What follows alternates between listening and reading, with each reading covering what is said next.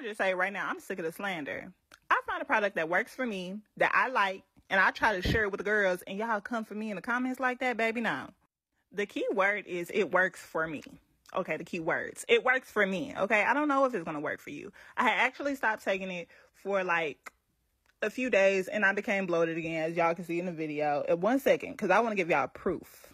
I have to give the girls proof on this app. Y'all see what time it is, y'all see what day it is. Okay, we're applying it.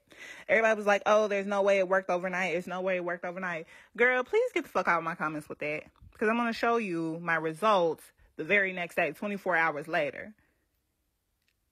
Okay. Uh-huh.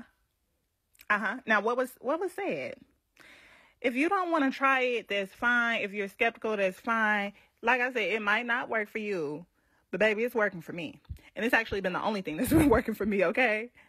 So a lot of girls want to know like what are the side effects and personally I've just experienced like going to the bathroom a bit and I've been a little bit gassy, but I'm willing to work with that, okay?